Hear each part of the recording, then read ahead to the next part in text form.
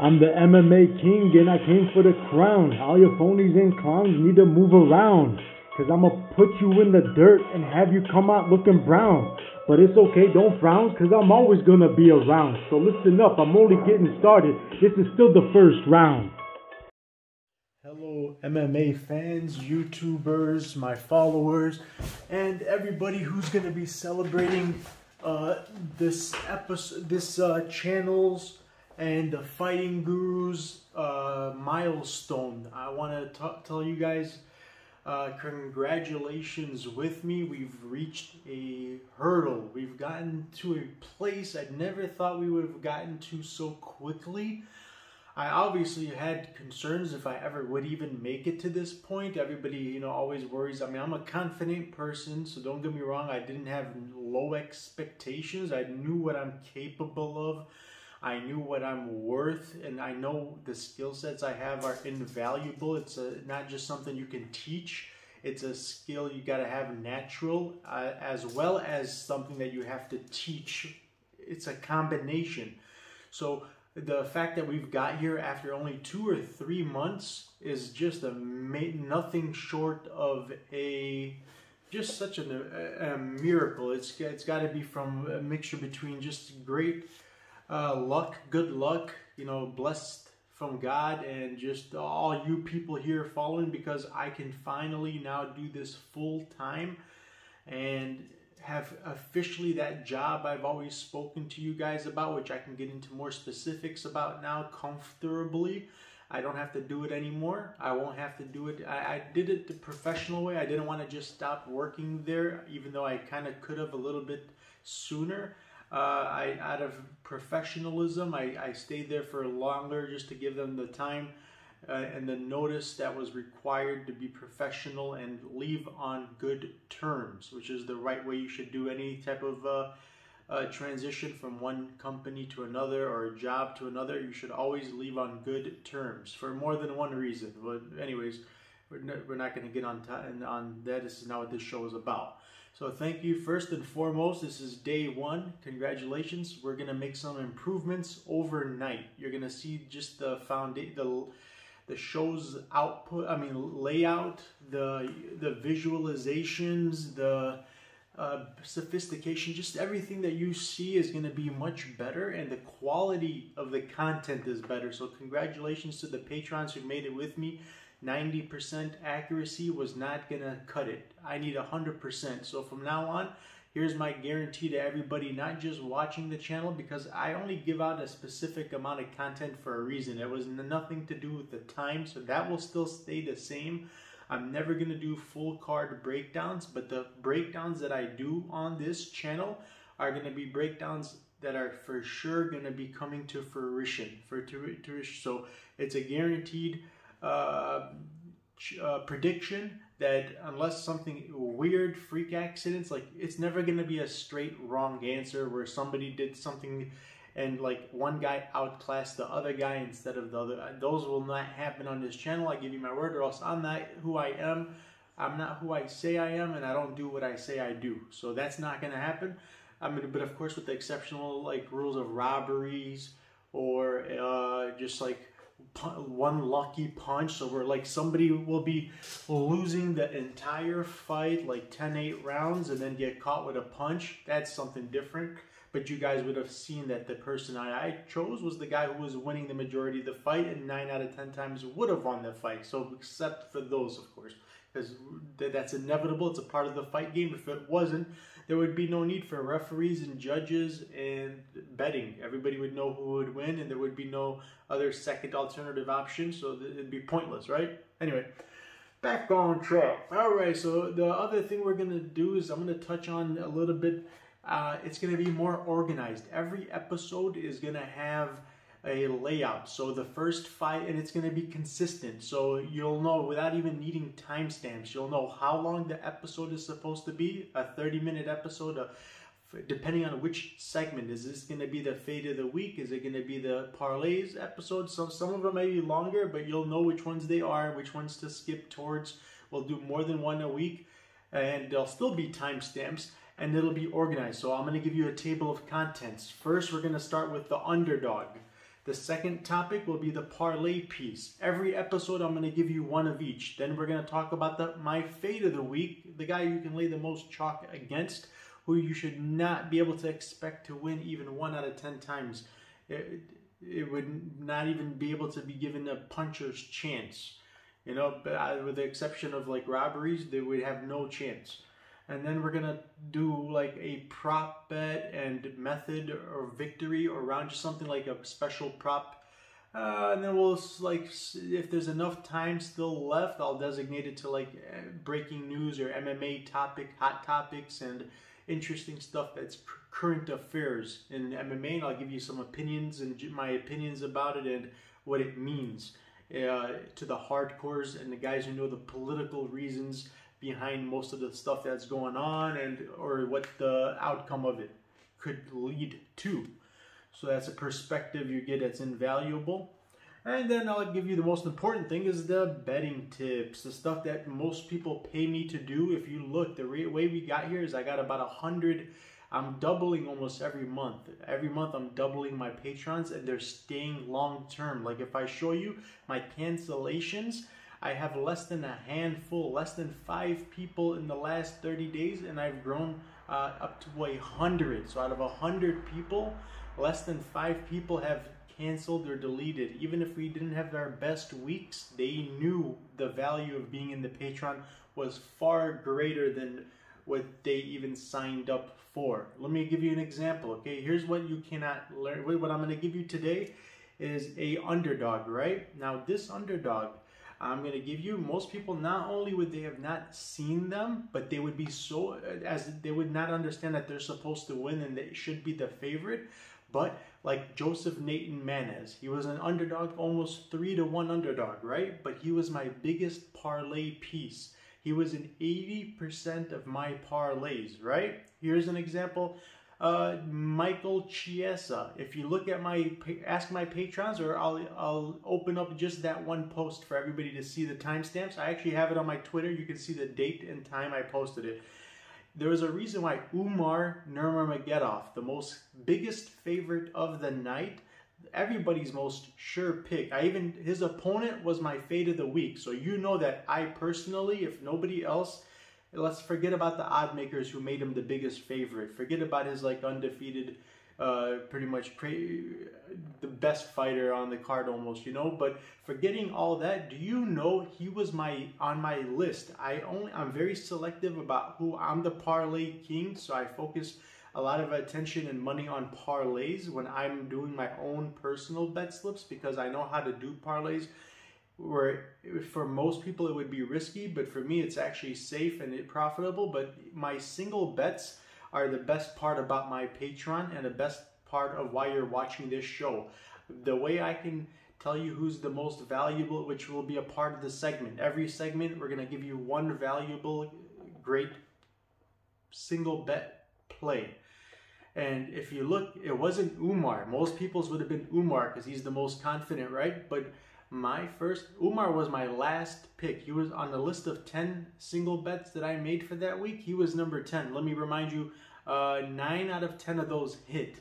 Only one of them did not hit. So just for that, if you're if you want to join my Patreon, just and I don't I have a rule. I don't bet them unless they're either guaranteed to win or there's one two real. They have to be guaranteed to win or they have to have great value. So if it's not a minus one, if it's anything more than minus 200, more than two to one favorite, I will not bet it unless it's guaranteed to win. So like a fade of the week. That's why he even made it to the number 10. Most of the time, a minus 500 favorite will not even make it on my uh, single bets list. This is a list that I'm instructing my Patreon members to make a play on them. So you're making a single bet play on only these people. If you bet on anybody else as a single bet, then you're not following instructions and we are uh, not i am not responsible for losing money but if you want to win money you'll never lose money if you just follow my instructions okay one of my instructions is before making parlays you have to make these single bets. Sometimes the single bets list will only have four bets. Sometimes it'll have 14 bets. Let me tell you, go back to my Twitter and look at the timestamps or go back to my Patreon if you're in my Patreon and look at the stamps.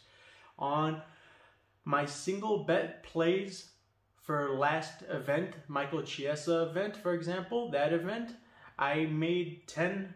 Number 10 was Umar Nurmagomedov, but number 1 was Michael Chiesa. He was an underdog. So my best play of the day was an underdog because I knew what I told. I did a two paragraph, I'm sorry, two page explanation post in my just the same way I did for Joaquin Buckley, but that I gave as a freebie on Twitter. If you look at my Twitter, a week before Buckley got knocked out, I put a post saying, "Hey, this is a heads up to everybody in mm-hmm. M- a hashtag MMA Twitter. So nobody, I said that you guys are all going to have the wool pulled over your eyes. He's going to be a, a parlay ruiner. And I explained, I don't just tell you don't do this and do this and good luck. I give you, so you can be comfortable, a two page story explanation behind a million reasons. And if there aren't a million reasons, then you probably do have a good chance and you have a good reason to want to bet on him. But there was a reason why he was in zero of my uh, single bets. I had no single bets on him, and he was not in my single bets list, and he was not in my column A important parlay pieces.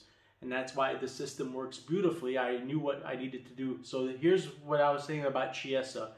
He won unanimously 10 8 rounds. It wasn't close. Nobody can say it was a fluke. Nobody can say it was a robbery. Nobody can say 8 out of 10. It was 9 or 10 out of 10 times going to always be Chiesa. And I listed several reasons not one, not two, not three, several reasons why. And now, because he's an underdog, not minus 600 like Umar, because they're both for sure going to win. I know that they're but why would I go with the guy who they say is the safest one on the night when to me, eh, I don't care if the opponent is good or bad or if a win is a win is a win. If he's going to win, he's going to win whether he battled through adversity, whether it was going to be just barely. A win is a win, and I know you're going to get the win. So why would I want to make a guy who's a minus 600 be a more comfortable parlay piece? So I've mastered the system how many times I tell you sometimes the best parlays are the guys who are either underdogs or slight favorites and the worst ones are the Koskis, the minus 700s, the minus 600s. So um, I've developed another thing in addition. This is just part one. There's a million things that make my Patreon special and why it, people will never quit it. Um, I can turn a minus now, like now, let's say I got a Chiesa, right? I know Magny is not to get submitted. I know Magny, you can stand the ground with Magny for seven hours a day, seven days a week, and you're not to submit him, but you'll keep him on the ground because you're more powerful than him if you're Chiesa. So I knew 100% sure it was going to go to the decisions. Unless he got a knockout, which I don't think because he is durable. He's young. He, he doesn't have mileage. He hasn't been knocked out 17 times. He's young. He's new. He, he, he still has treads on his tires. His chin is not uh, faded. So I knew it was going to decision 9 out of 10 times. So now we took not only a guy who's an underdog, but we took an underdog and found the specific method to how he's gonna win. And that's why I said the over rounds. Look at my post, the timestamp. Before the fight started, I even mentioned it minutes, just in case anybody forgot, didn't pay attention to the long page explanations throughout the entire week. I, I reposted different versions and more and more depth reasons, and every folder you'll see every fighter coming up has a folder, individual folder for themselves and for their fight, where I'll say advantages, disadvantages, uh, areas that'll make the difference. So I'm gonna do the same thing on this episode and every episode, but it's just one out of 12. You're only gonna get one piece out of 14 pieces where I'm gonna do what I do for the patrons for every fight. And I'll do it for different categories. But anyways, Chiesa, and guess who number two was? Matt Danger Schnell. And guess how we knew he was going to win? I said 90, I marked my words, I screenshotted it at the time. I said 99.99% sure he will not get knocked out. And if he wins, it'll be by decision. So, and I knew he was going to win. He was my number two. So now let's focus. Now, do you know if you're making these types of plays, as long as they're not all favorites, that are minus 500s, which I told you I don't do, even if you only get half of your er, picks correct, let's say my accuracy was not 90% like you guys see it is around. If I get half right, I'm still going to be in the profits because these guys are paying plus money. I'm finding first shift Chenko minus 1800. I got you plus 275. What do you think I'm doing with these minus 100s? I'm getting you good, good plus money, not just plus money. So if I even only had half of my accuracies right instead of what I really do get, I would be in the profits. That's why you can afford to make parlays. Do you know just one of my column C parlays? Remember, A and B are my most highly percentages in profits and or hitting. I hit the most in parlays in A and B. My column C last week in the Chiesa one, I had a six leg parlay. Chiesa Ike Villanueva, who was a very slight favorite, tiny favorite. It was almost pick'em. So Brad Tavares became a pick'ems. It was like minus 115 to minus 115. Brad Tavares, Ike Villanueva, and Matt Schnell as an underdog, Chiesa as an underdog, and like a girl who opened up as an underdog, Manon Fiorot. Look at the parlay I put. Six leg parlay. I cashed that. That one by itself made me all my money back and profit. Now, everything else, the single bets, the prop bets, the other parlays, which I hit penny, was profits. All my money was already made back with that one parlay. So you're telling me that the patrons are not gonna, if we even have a bad day, you tell with things, how about the Hermansson card? 40 out of 47. If you only bet $10, on each of my parlays, right? Because you can bet $1, $5, $10, or $1,000. But let's just go with $10. If you bet $10 on my parlays, that included the full parlay slips I give you once a week, you would have won off of $10 only, all your money back, plus $1,900 in profits.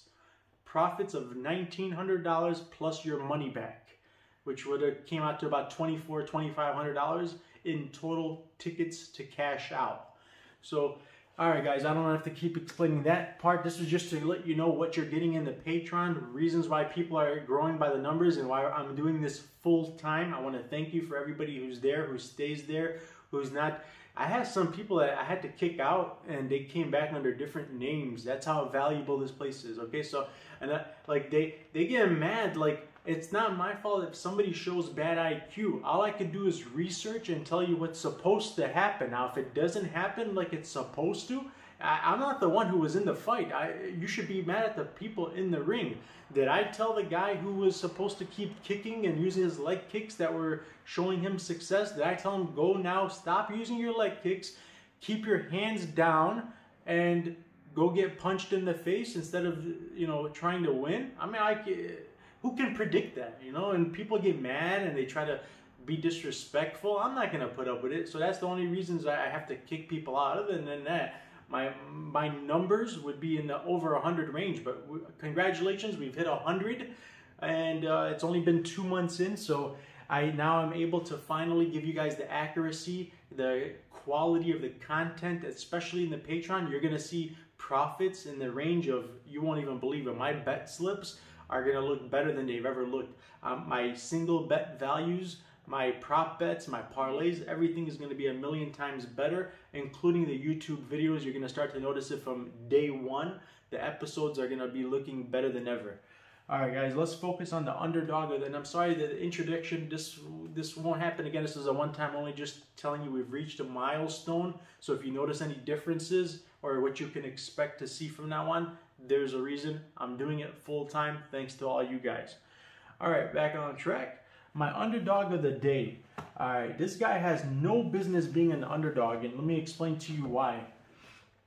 All right, this uh, guy, I'm, I'm, you know, actually, funny thing is, he wasn't an underdog, so that's how you know it screams value. When there's a guy, perfect example, Joseph Nathan Manez.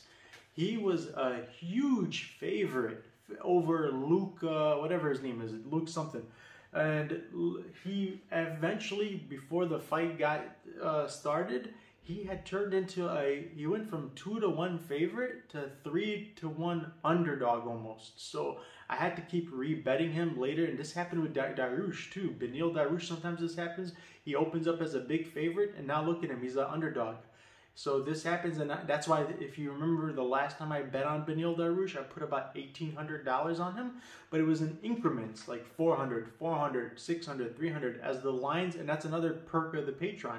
I make live notifications every time somebody's lines are moving in the direction that's in our favor or quite the opposite. If I start to notice like, oh, it's going in the opposite direction, you guys got to move fast. I did that for somebody today. I forgot who which fighter it was, but I did it for both. Uh, I think it was Michael Johnson for Clay Guida. I can't remember, but I'll do it for both. I'll tell you guys, look, this guy's moving fast, so anybody who wants to put more money, this is the time to do it, or anybody who was intending on putting more money on him, wait until fight night or until further notice because the money is going in the opposite and on our favor. So you don't want to bet on it now. You want to bet on it when it's when he's a bigger underdog or less of a favorite. So another money making uh, privilege and perk of the club. All right, uh, so who were we talking? Oh yeah, so a guy who's an underdog right now who should have been a favorite and was a favorite until the casuals and just the guys who don't know what they're doing got their hands on the bets.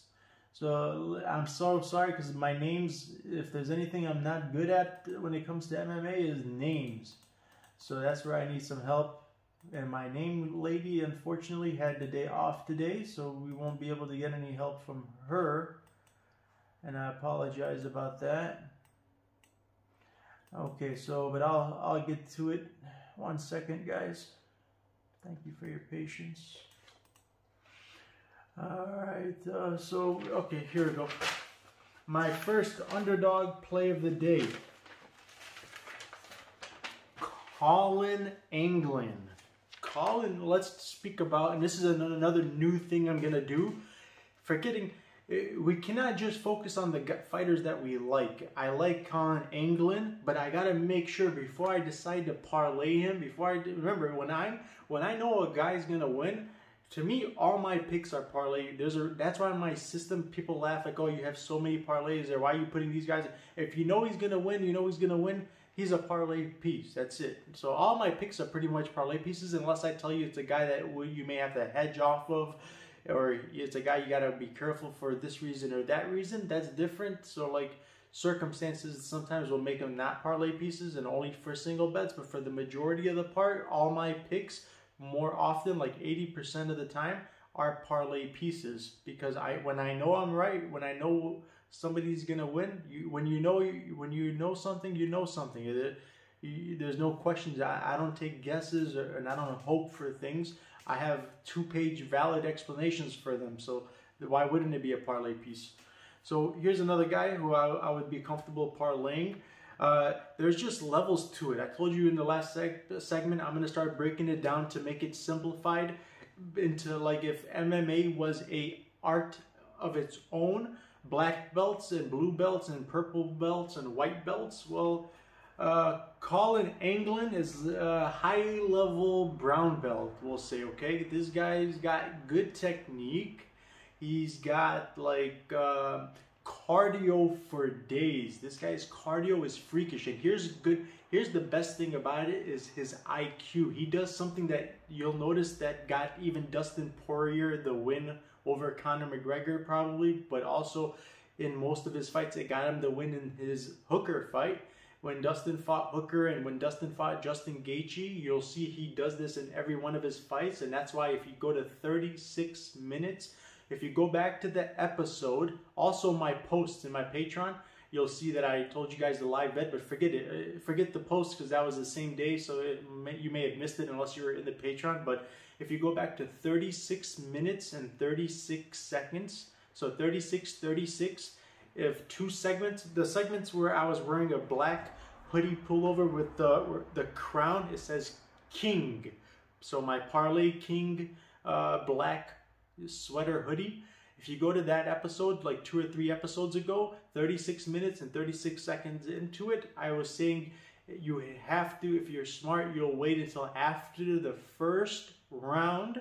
if Conor did not knock out Dustin, that Dustin is a slow starter. Conor's quite the opposite. My exact words were he's going to come out like a bat out of hell. Dustin takes a couple of minutes to gauge this, so by the time he opens up and he's comfortable, and uh, as well as his strategy, he does it, and this is why they do it. There's two or three reasons why. Let me explain. I'm a fighter. I understand. I do this. I used to do this myself. I've watched people do it, and I've given people the advice to do it. So this is what you should. This is what Dustin does, and this is what uh, This is what Collin Anglin does. Uh, and a lot of even professional race car drivers do it in a different concept where you gotta you let go of the gas just enough so you're you're giving your opponent a sense of that he thinks you're giving the hundred your best um, efforts. He thinks that you're giving your full effort you're going at the full pace that you're able to and you're matching him. So usually, if you're the guy, because a guy like uh, Dustin Poirier and a guy like this, they have unlimited. Remember, I told you uh, when I was a young fighter, you can wake me up at five in the morning. I'll run 30 miles, and I, I got to the point when I was doing the stairs where I would never run out of breath. I wouldn't even sweat. But when I started at the gym, I was I could only do like 10 sets, and I would be my kidneys would my sides would be hurting. I'd be sweating. But then after doing it for so long, it becomes you get unlimited cardio. They've reached that level. Amanda Nunes is, and they've reached Holly Holmes. They've reached that level of unlimited cardio because they know how to breathe.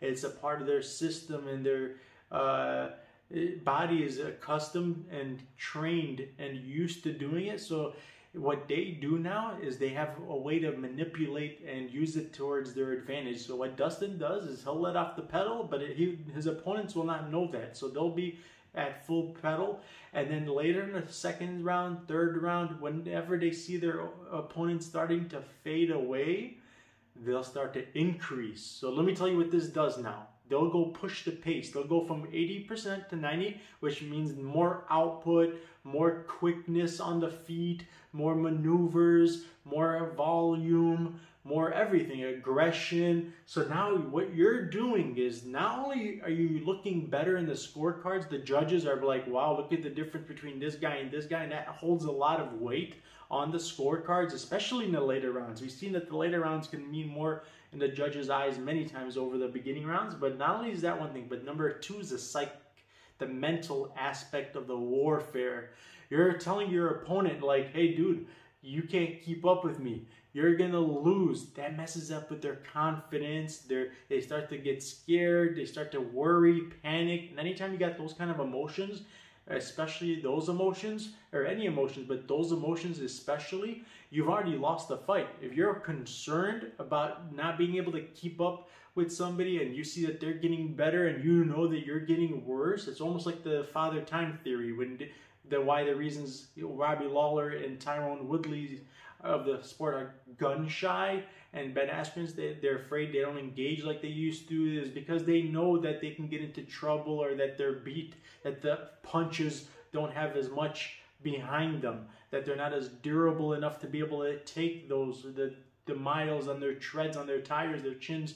They don't hold up the same so they get scared and concerned and worried about engaging in those uh, exchanges. So that's what happens in the middle of the fight, believe it or not. And we saw it. Remember, I made the post when I, you know, when I noticed something?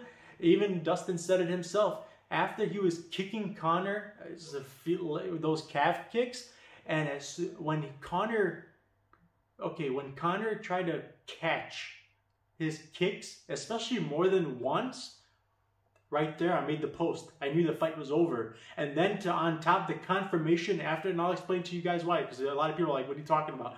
Everybody catches. There's a lot of science does it. Let me explain to you the difference, okay?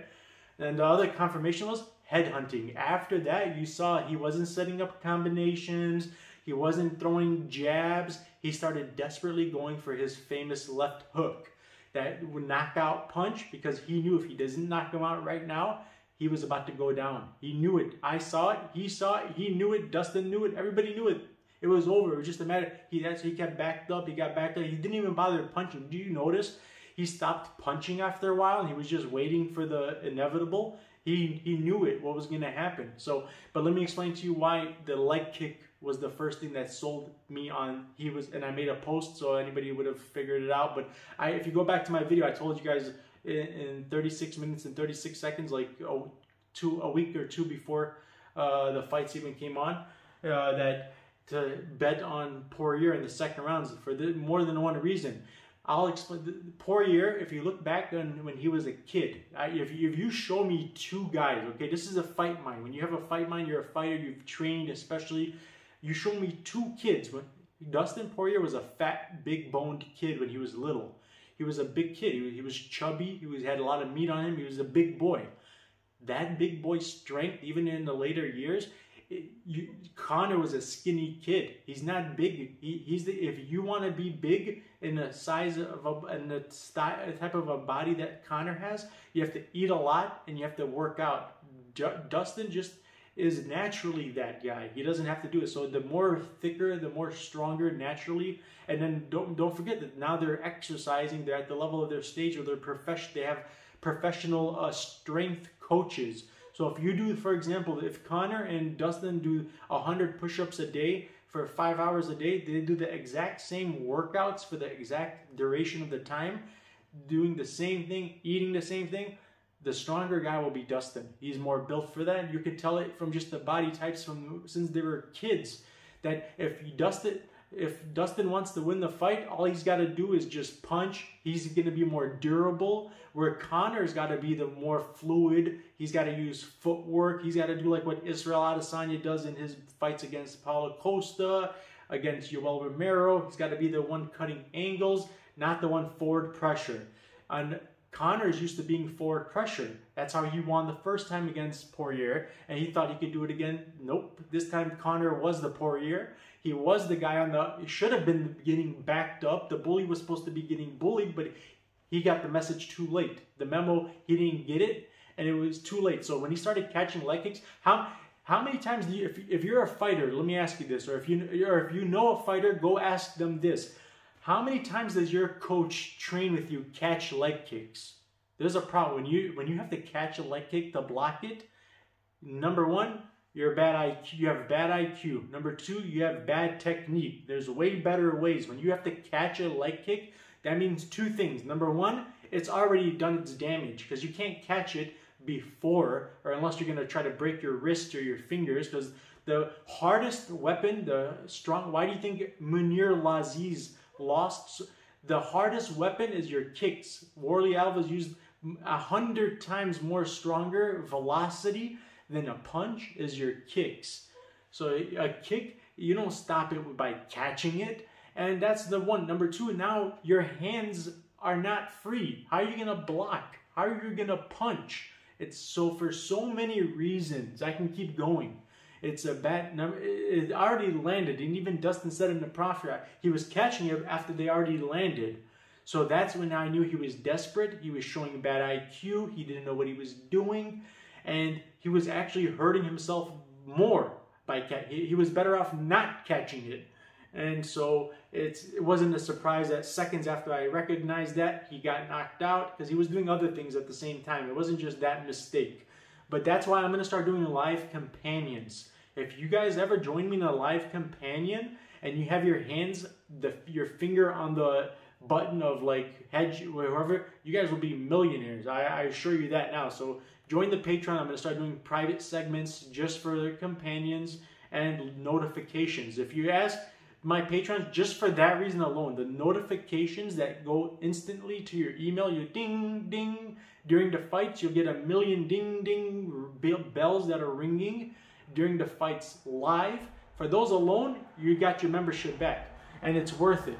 So I did it. How many times a guy was on the floor getting beat up? to losing the round 10-8 rounds, and I told you like a Louis Smolka, he's a slow starter, or a uh, jo Charles Jourdain is a slow starter, Marvin Vettori is like a, a, lot of times I told you guys, and, and it, came, it became beneficial for you if you listened to me at the moments. We did it in a Bellator fight. All right, so my underdog Collin Anglin, this is a guy who's on a seven fight win streak. He's an underdog because of the casuals, okay? Let's focus on his opponent. Now, let me tell you, his opponent's got some of the worst IQ ever. If you if you're in the Patreon and you saw a post the post would say advantages IQ. Anytime you see IQ as an advantage, unless the other guy at a disadvantage of the IQ has some crazy knockout power, that's the key. If I had to put a star next to any advantages, it's IQ. IQ alone is one of the most important parts of any fight. If we were, we were doing an interview yesterday with a UFC future star, she'll be a champion. Mark my words one day. Miranda Maverick agreed with me yesterday saying that IQ is one of the most important. By the way, if you missed an interview, you should check it out. You're going to get so much insight, invaluable, not just about future stuff like movies that are coming out for that have UFC fighters in them and a lot of cool stuff. Fighting, just if you're a fighting fan, not even anything to do with gambling, but also gambling because she's got a fight coming up in about three or four weeks on February 13th. She's got a bad fight, dude. A bad, I don't want to swear, a, a super cool fight, man. Coming up against uh, Jillian Robertson, and she's giving us some insight about what she's gonna do. So if you like prop bets, you like parlay pieces. The last time I bet on, go look at my Twitter account. It was the October 20 week of October 24th. Go back to my October posts. I posted it before the event started off of the tickets that Miranda Maverick by herself cashed in. I made in profits off of Miranda Maverick's tickets alone over $7,000 in profits. $7,000 on her debut fight. Mind you, this was her debut fight against Liana Jojua, a Georgian. Remember how Georgians have been doing the Gurams, the Giga Chikadze? I had so much insight off of, uh, I had so much confidence. Mind you, Georgia, not just she's Georgian and Georgians have been doing well, she had been coming in like, I, at that moment, she had won five out of her last six. She had most of, she had about five finishes in the first round. Her arm bars were from like guard. She can pull guard and get an arm bar and from her back and like she's shown so much durability, toughness, and good technique. She still opened up as a underdog. And I knew after tape studies and just finding out the details that I found out about Miranda Maverick, how she grew up with fighting, you know, in her blood. She used to work out on a farm when she was a kid, and that's why you see her muscles are very toned and very def- defined. And her strength advantage, that's why she beat girls like Victoria Leonardo, who's just known for her strength, that wins fights based off of just being the tougher girl. If you remember, that's how I broke down Victoria Leonardo's description. If you remember the video when she she was being broken down about her fight with Manon, the French girl who we parlayed and opened as an underdog, and we got her early, and she became a favorite eventually. But we won money off of her beating Victoria Leonardo. Well, she beat Victoria Leonardo twice, way before she was even in the UFC, and she beat Pearl Gonzalez in a pretty impressive fashion, way before she was in the UFC. And mind you, she's only 23 years old. So if you want insight, go look at the interview yesterday. She talked a lot about how she's going to win, what she's got in store for Jillian, and where, if it goes, Jillian likes to go and take people to the ground and do ground and pound and try to submit. She, she tells us about what her answers would be if that were to come. Uh, if that were to be to come, come to fruition and she and she implements that game plan against her what she'll do and so that'll help you guys make your decisions if you're not in my patreon and you're not just going to duplicate my bet slips and follow me on what i'm going to do at least you'll have insight on what you think you should do based off of what the fighters are saying so from now i'm just going to i'm focusing on like bringing fighters who have upcoming fights and who I really am high on. People that are making us money, who have already made us money, especially like the last guy before, uh, the last fighter before her, we had made a lot of money. If you remember, I told you guys he was the biggest parlay piece of our night. So that, that's going to be the trend you're going to notice. All right, so under like uh, I noticed about uh, this guy's opponent. Um, what's his name? Yu Wu Ch. Ah, I'm not even gonna try. I, to, I wrote it down. Sorry, one second. So we're, we're on the on, all right, Su Woo Choi. He's got an eight and three record Uh, three of them by first round finishes, but that was way back in like 2017 was the last time that had happened, and that was like um, it, it, was uh, a guy you guys I don't know if you've heard of him. I, I remember this guy. He's not that good. Uh, young boy, funny name, Young Boy Kill. And so the last time he had knocked anybody out was in 2007. The guy's name is Young Boy Kill, but that was his retirement fight. It was the last time he was ever even in the octagon. He was on his way out the door. And before that, it was like 2016. Another guy who's got like a losing record. And then before that was like 2015. So recently, it's not about what you did in in your career. It's about what you've done. MMA is, you'll notice, it's a very un, unfriendly sport when it comes to uh, father time, it catches up to people faster than any other sport. Unlike boxing, where you could be like a Bernard Hopkins or a George Foreman or a Tyson because they're pillow fists. I mean, they give you padding that's 10 times more cushion on your gloves.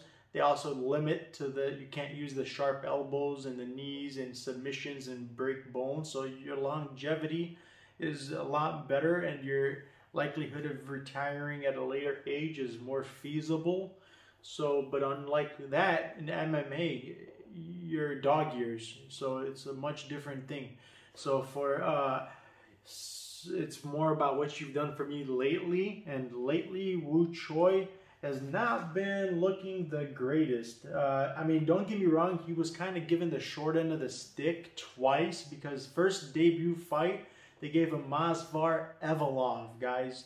We know who Movsar, 14 and 0, undefeated. The Khabib, the dark horse of the division. This guy's serious future contender. This guy's got to be future champion one day. I mean, his his output, his strength, his just well-roundedness on the feet, he, I love the way he mixes it up. From well, I could talk for days about it, and he just made us a killing. So I could talk about it. Let's focus. Let's be disciplined on the show. I don't want to go sidetrack because I'm an MMA. I'm a true MMA fan, guys. I've been watching MMA since the Royce Gracie days.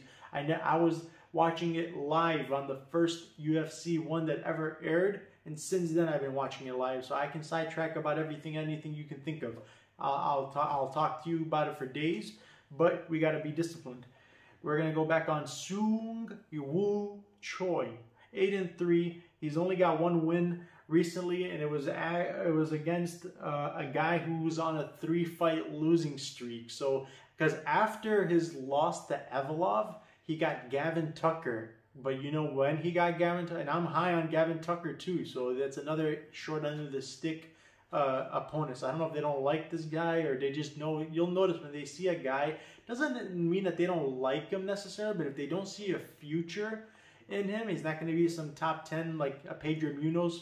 Like, for example, they don't mind putting them into like situations where they're setting them up for failure inevitably or rob them from decisions and for the greater cause because of a bigger name like Edgar who can move up and sell pay-per-views or or get more you know of uh, fans attention. So like you'll notice those guys that they don't care about, they'll put them as sacrifice the sacrificial goats, lambs. I mean sacrificial lambs because what's gonna uh, what's gonna end up happening is sorry for the delay. What's gonna end up happening is they're gonna give. Uh, right now, this is a not just because the guy's just more well-rounded. Soo Woo Choi is very weak. He's got decent cardio. He's he's got a very bad stance for MMA. MMA, he, it, the way it's evolved, like the new tech, the new, uh, like the new breed, the new evolution of what MMA fighters have become now is the reason why guys like Lawler and Woodley are obsolete is they're becoming obsolete is because unless you're like the best at it, the style of fighting that he's implementing, Soo Woo Choi, is very outdated. It's very ineffective in a lot of for a lot of different reasons. His stance makes it, and that's why he's so bad at takedown defense. His takedown defense is terrible. He gets hit a lot. He's very predictable. He's just so so like easily beat that you don't have to draw the map. Is just to go do what you learned in basic MMA training. Remember, MMA mixed martial arts where you gotta mix. Look what Evloev did to him. Did you see the Evloev fight did with this guy? He everywhere it went, anywhere it went, however it went, he was mixing it up from strikes were landing so easily and then trans level change down to the take the single leg, the double leg without a problem. It was sweeping him off his feet. He was picking him up. And then even the other opponent, Gavin Tucker, was just out muscling. Even when um, Soo Won Choi was getting the better positions, which was very hard and very rare that you see him get a better position because he's just not he's not a good wrestler, he's not a good grappler. He's very he's a one trick pony. But even if he does does uses eight inch reach advantage, he had an eight inch reach advantage, mind you, over Gavin Tucker, and he opened up as a pick'em. So it was minus one fifteen to minus one fifteen for whatever reasons, maybe the reach advantage, I don't know. But coming off of a loss, they still made him a pick'ems against the guy who had only got one. But Gavin Tucker had just got off of his first and only loss. He was undefeated.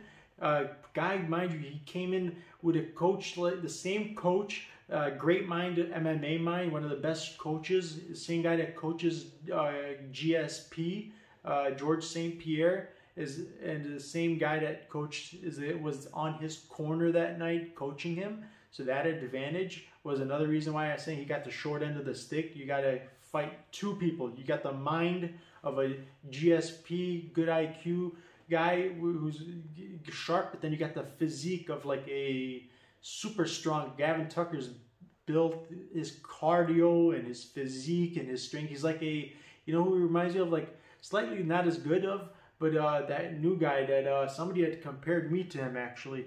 Uh, Joe, shoot, I'll never forget his name. Not Joe Solecki, but a little bit Joe Solecki too.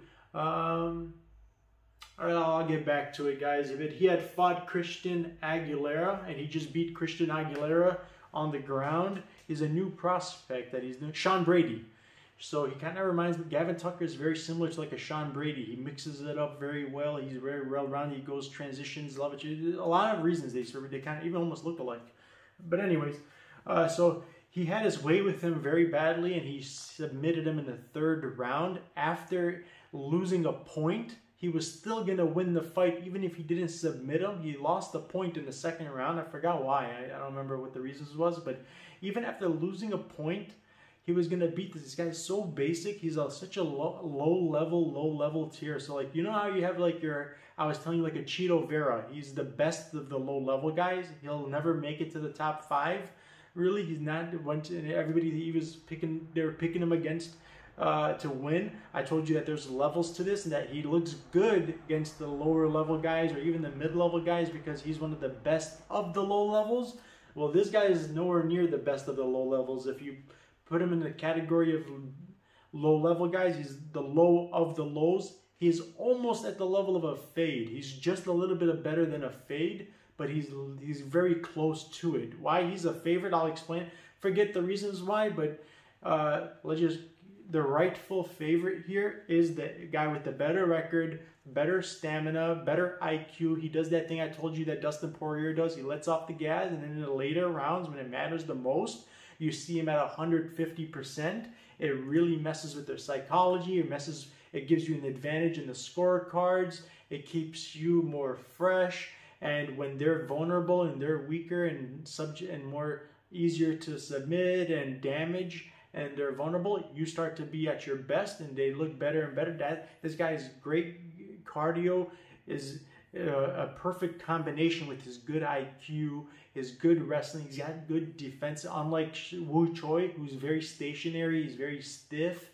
Uh, he has great head movement. He's got great fluidity, and just he's sweet. He does the switch stance so good and so often. Like you have a lot of people who do switch stances very well, like the Rafael Fizils, Fizef that we told you was gonna beat Roy Cano, most Moicano, Renato Moicano, whatever, because of using that, it was gonna play. This guy does it even better, and he does it more often. He's very underrated. He's not getting the respect he deserves. This is a card. Remember, I told you each card has a theme. We a lot of them tell it uh, they, they scream value or underdogs or future contenders. This one is underrated. Another example, Beneil Dariush.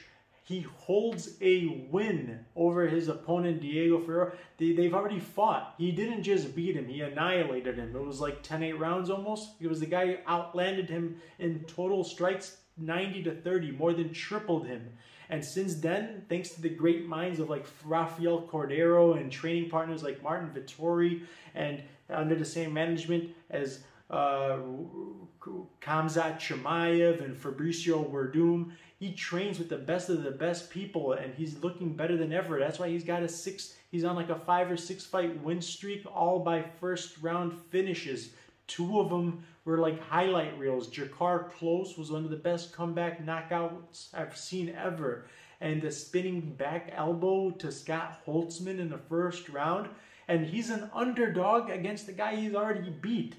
What is going on over here? And then you guys, you're you guys got a guy who, who shouldn't even be in the UFC. The guy's only got a win over a guy like Ibrimov, uh, Ibrimov. Anyways, uh, what's his name? Marques. Uh, I gotta do these names. So uh, let me fix this. Oh man! All right, until I get the names. Yeah, so uh, we're gonna we're gonna pick the underdog to beat Seungwoo Choi.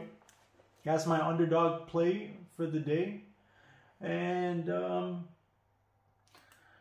another fade. Okay, this guy I, he's got to join the fade list. If he, he's the Jordan Wright of this card, you know how I told you guys Jordan Wright, who had like an undefeated, fluffy record. I said it was fluffy because not only that it was padded, and all of the guys he's beat have never had a win in their lives. He's only beat guys who have never beat anybody, and the only people that he does have wins over that have wins themselves are against people who don't have wins themselves. So it's really like you got to go deeper, further into the records to realize that they're very padded. They're not just padded, they're very padded. And that same thing applies to Danilo Marques. Very padded, and you can see the confidence the same way as it when somebody needs to use steroids to feel good about themselves, The Carlos Pineda's or Daniel Pineda's, I mean. Uh, is another. Oh yeah, that's another thing. By the way, Chris Gutierrez, one of the guys I'm very high on, is one of he trains out of uh, Factor X. Um, is one of the gyms that Collin works out of. He's got some of the best trainers and training partners who can mimic very well the style of uh, Wu. Wu uses his, he's very long for the division, so he likes to use his length to do kicks and stuff like that. And who better than a Chris Gutierrez, that's his main training partner out of Denver. They train together uh, on a daily basis, and he's got the help of guys like James Cross, uh, Josh Parisian.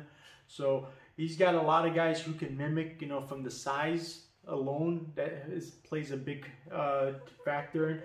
And this guy just he, he makes black belts kind of look bad sometimes. He's just very very well rounded. He's got a lot of heart, fighting heart, spirit. So I don't know why he's the underdog, and what and but I'll take advantage of it at minus or I'm sorry plus 145. You guys better. I would do what I do with Beneil. I would lock it in now and then lock it in again later. So if it keeps going. All right. Um. So what else? Collin uh, Anglin. Um, and mixes as well. He's got good IQ, good cardio. He's got uh, precision. He's very technical. He's got. He's going to be the way more powerful. Just off of power, he'll be able to get the better positioning. Like I was saying, Gavin Tucker was winning positioning over uh, Woo Choi just because of the strength discrepancy. Like he was in the bad positions and uh, losing positioning, but then he would win it back. Not even by technique. It was just by outpowering him and getting out of positions and bad situations just by outpowering him. And then when he did put him in a rear naked choke in the third round, it wasn't even on that well and it wasn't even on for that long, but the power, he couldn't fight the hands. He was just so much weaker. And that's another thing that's going to be a, an effect here. Wu Choi is just too weak to be able to fight and win against a guy like that. You can't hurt him. He's not going to be He's not like some crazy like Israel Adesanya fluid like Jon Jones like spinning and like he doesn't do nothing like that crazy. So he's not going to land anything that's unpredictable. So uh, I don't know why his reflexes especially Collin's, are very well. He moves like really, really fluid. All right, so Danilo Marques back on track. A fade of mine's uh, Slow Mike. You know what it is? The marketing machine, they owe him a favor, man. They screwed him bad against Ed Herman. He was winning and he was on a good streak. He had a good record, the momentum. He was coming off. It was an important fight to keep him going. And the even Dana White after the fight was over told him, "Look, man, I'm sorry they screwed you. I gotta, I'll make it up." He's trying to overturn. They, they did everything to help him fix it, but it was too late. He lost the fight to Ed Herman that he should have won. Go back and you can see how they screwed him, the judges. It was, it was just a mistake that had nothing. He, he had to pay for somebody else's mistake, and he paid for it with losing the fight. That's a big price to pay, right? So what did the, what does the UFC do to make it up to them? I tell you, they got power, man. I told you that they were gonna do this. The UFC is the reason why Neil Magny. I told you he was gonna, he should have won the fight, but they gave him a worse style matchup than um, even Khamzat because they he called their bluff. He made them look bad when when they were saying nobody wants to take a fight against our big bad wolf. Khamzat Chimaev is a, beast. Nobody's trying to fight with him. Nobody wants to take the fight. And then he kept saying, well, I do, I do, I do, and you guys not letting me. So he made them look bad at the cost of, you know, that. He, they gave him, to, to make himself look good, he made them look, he, he threw them under the bus, and they made him pay for it. I told you that in the build-up. I said that they couldn't have given him a worse style matchup uh, for the way he fights, his techniques, and the holes that I saw in his game that they would have picked up as well in the Lawler fight in the Lawler fight, it was a confirmation of everything I ever thought about Magny. Magny's not that guy that you guys think he is, and I told you guys the reasons why, and I gave you a long explanation about reasons why he would lose. Well, if I knew it, I'm sure UFC's matchmakers and the you know Sean Shelby's and their uh, those guys they know what they're doing. So they gave out of punishment. I told you it was a punishment. They they gave him a guy who everybody thinks he should beat but you know he's gotten less followers, so he doesn't got the Khamzat. So you wanted Khamzat? I'll tell you what, we'll give you somebody with less followers, so you don't have anything to gain from beating him. If he beats you, it's bad. If you beat him, it's not that impressive. It's not that you should have. You're the favorite. They made him a favorite because for you know popular a lot of reasons why.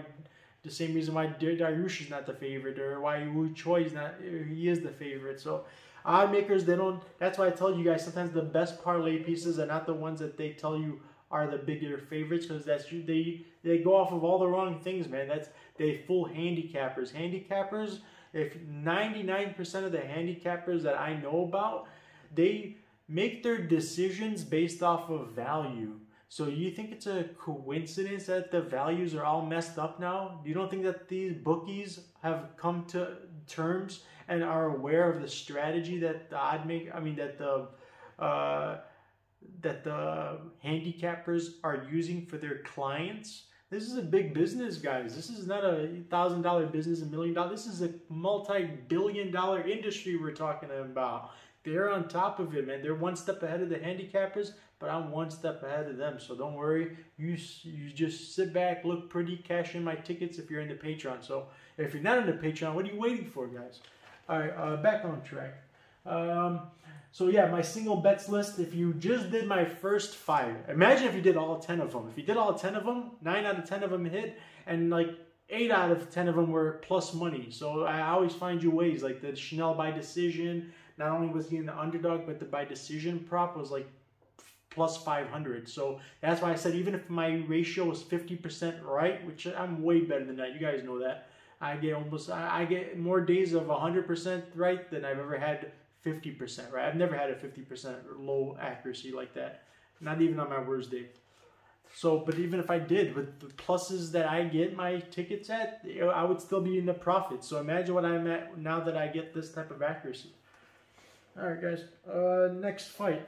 Oh yeah, so Danilo, Danilo Marques is going against a guy who UFC is trying to make look good because they owe it to him. So keep that in mind. Remember, I always ask, I, I tell you always before, this is another thing that goes into my bet slips.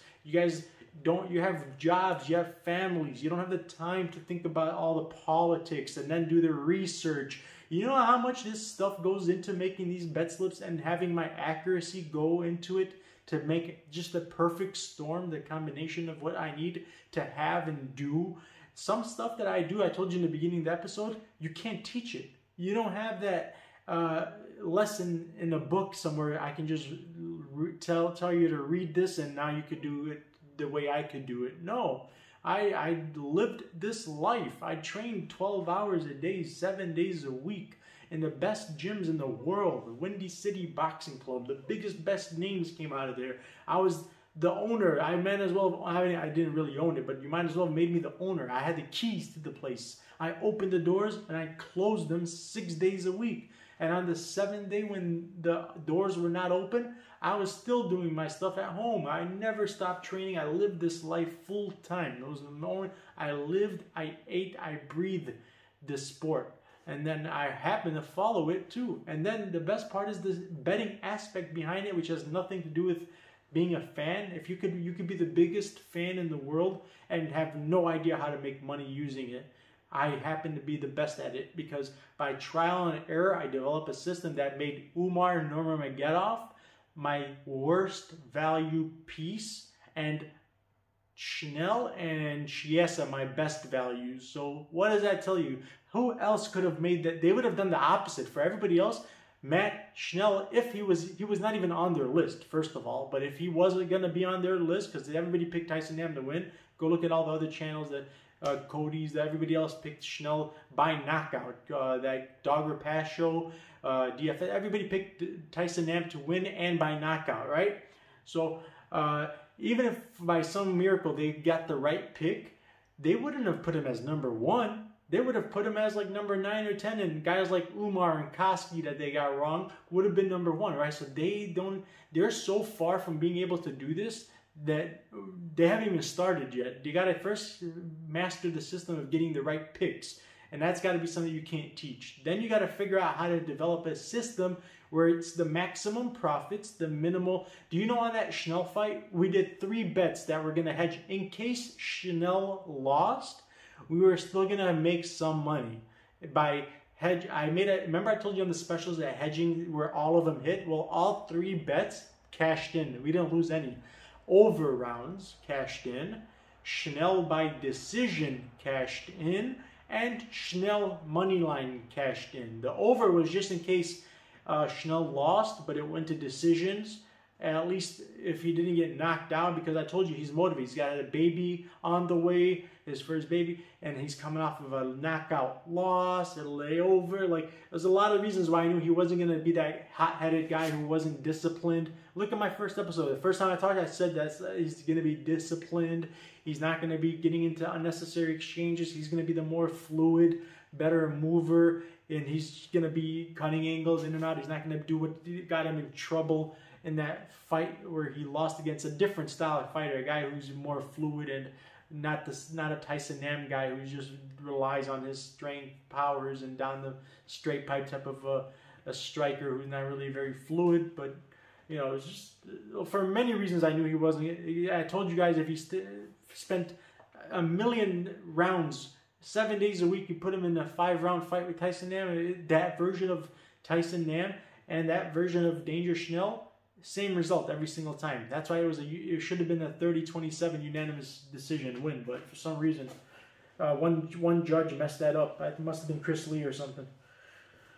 All right, who else are we going to talk about, guys? Uh, so the rest of this is a one two part segment. The second part is private that's another benefit of the Patreon. The rest of the picks, they're going into a private uh, section for the patrons. Each fighter, each fight has their own folder. You'll get short segments. That's another thing I'm including us every fight. If you just want to bet on a specific fight, let's say Dariush versus Rare, you can go to a folder for just that fight. It'll, it'll have video of it, of the my breakdown, my my prediction, and it'll have actual posts of like statistics, my opinions. So you'll get both videos and detailed descriptions, pictures, stats, and my opinion all on video and in posts, numerous posts on both fighters, advantages and disadvantages, physical, mental, everything that it goes. Every fighter will have their own column.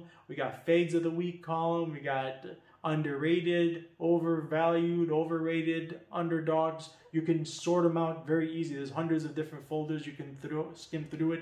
Entertainment, breaking news.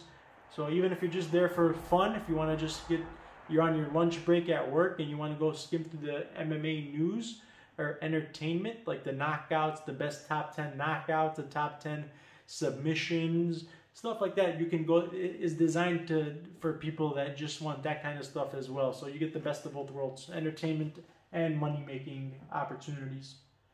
All right guys uh, so i give you more than you deserve.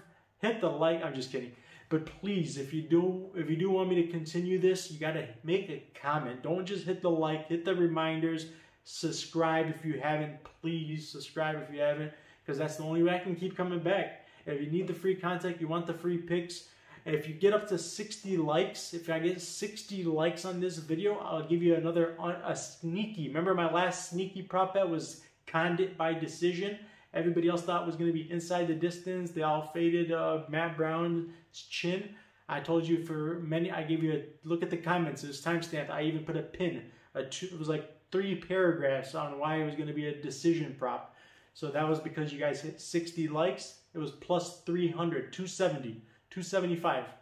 Uh, prop bet cashed in. So I'll give you another sneaky prop bet, an underdog. If you can hit 60 likes, hit a bunch of comments, hit the like, and I'll keep coming back. Let me see, maybe uh, since you this was a longer video, I'm gonna give you an extra treat. I'll give you a parlay because we didn't get to do it. So uh, usually my segments will be underdog, parlay piece, a fade, a prop bet, and some MMA topics, like hot uh, topics and news, and then a betting tip.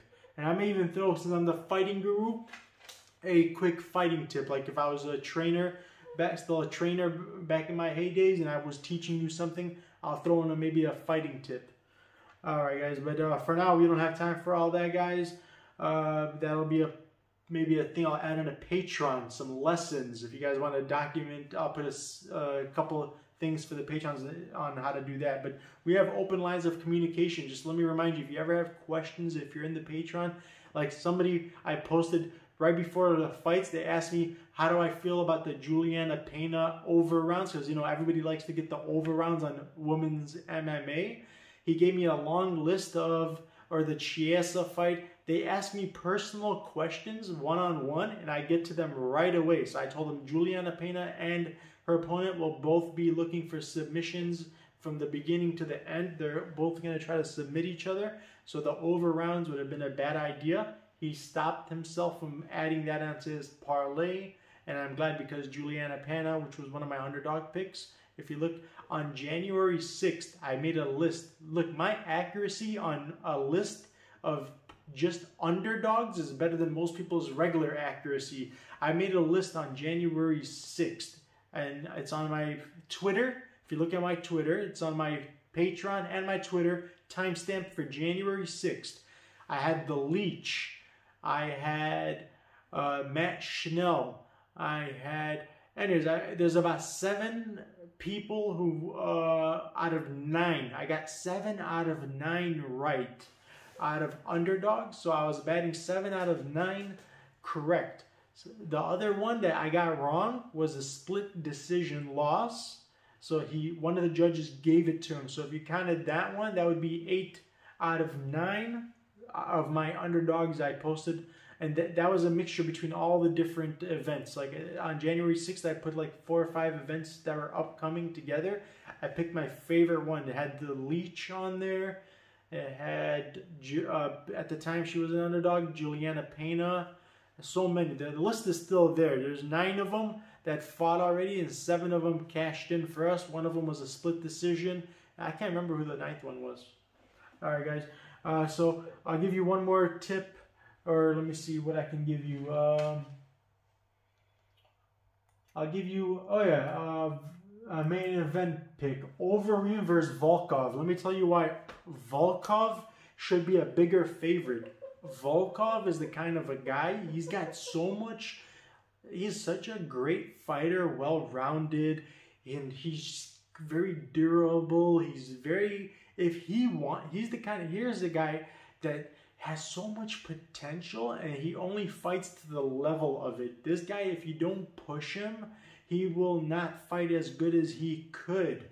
If you've given him some adversity, if you push him to a corner, you'll see a version of him that's way more dangerous and high level and effective and good than the one that if you were just coasting and you were not trying to put your opponent in any danger, if you're just trying to win off a point. Well, the good thing is, Overeem is not that guy. He's the guy who's going to push forward and make him force him to bring that guy out of him that he has very many times shown us is just super crazy high level, strong.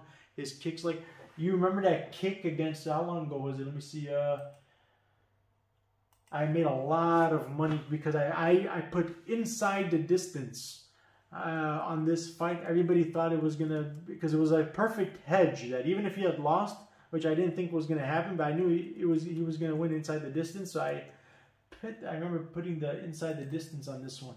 Uh, I want to know the date on that fight. How long ago was that? Because I, I, feel like it was recently, but I know it wasn't. Um, All right, Drago fought against the, if I'm not mistaken, Black Beast. Was it? Hold on. Uh, yeah, that's what Curtis Blaydes. I always get them confused. Curtis Blaydes, who's fighting the Black Beast. That's why. All right, Curtis Blaydes uh, beat him. Actually, I'm sorry. That, that's not the fight. I talking. Uh, who did he stop? Oh yeah, it was the Black Beast, Derrick Lewis. So uh, Derrick Lewis uh, got kicked in the stomach, if I'm not mistaken, right? And that, that's what started it. It was a kick to the stomach. It's something that opened. He hurt, he hurt him real bad, and it was because Derrick Lewis is similar to an Alistair Overeem. He's gonna push you.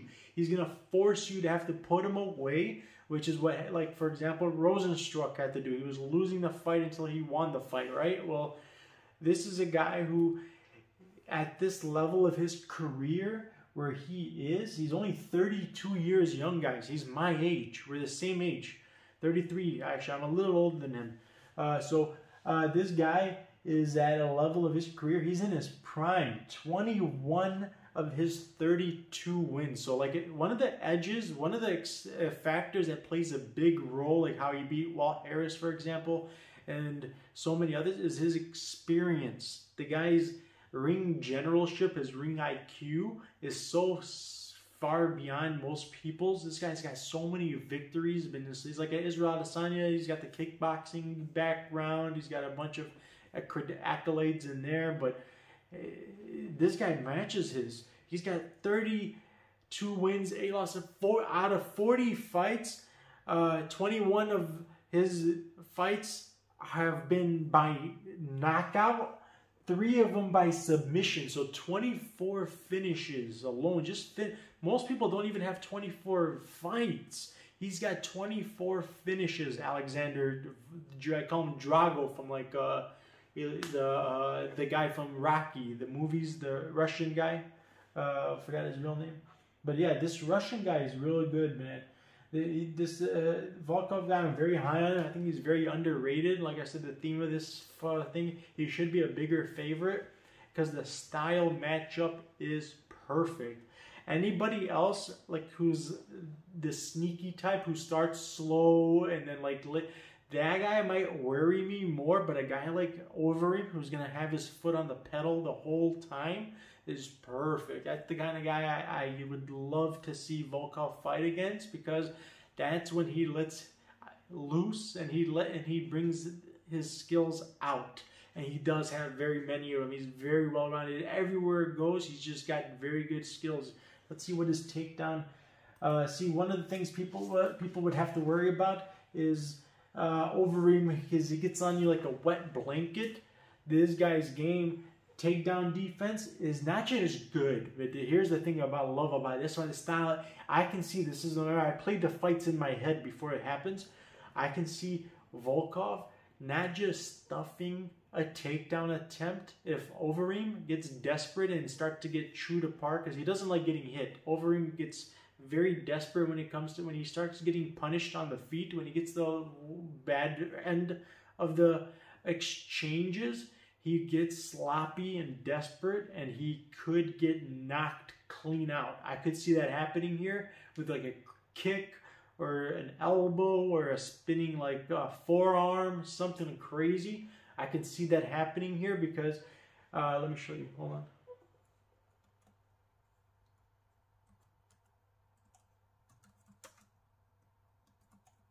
Don't worry, these will have timestamps, guys. Sorry for the duration of this.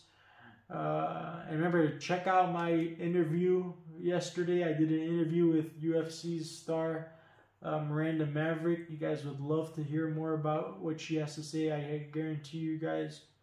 Um, uh, sorry, it's real late where I'm at right now. I'm on European time.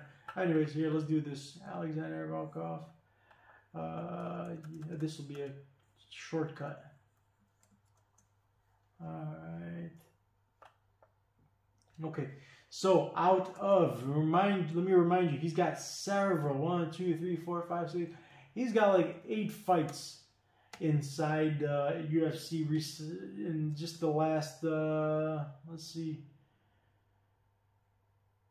three, four years, I guess. Yeah. Anyways, um, maybe more. Uh, but his take, mind you, he's six seven, guys. Six seven. He's got an eighty inch reach. Eighty inch reach, guys. Six seven. He could have been a a center, a basketball player.